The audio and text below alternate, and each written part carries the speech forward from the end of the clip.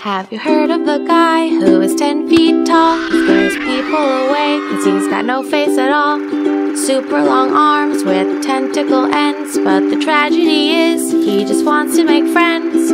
But um dum dum Slender Man, sympathy for Slender Man. He hangs out in the dark cause he's got nothing to do. Wore his very best suit just to impress you. Have sympathy for poor Slender Man.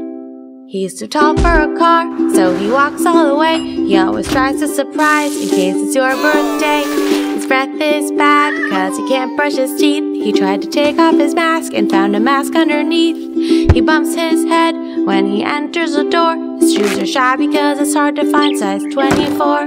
His DVR is broke, he's out of groceries too. He's scanny cause he saved the biggest portion for you. But um dum dum Slender Sympathy for Slender Man His raspy voice is just a common cold. He's got so many arms but nobody to hold. Have sympathy for poor Slender Man He hangs out with the trees Because the trees don't judge. His friend requests ignored By Sadako and the Grudge. Sympathy for Slender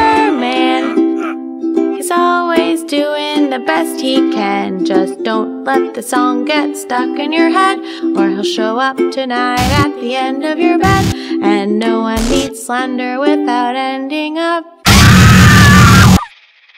dead. No sympathy for Slender Man.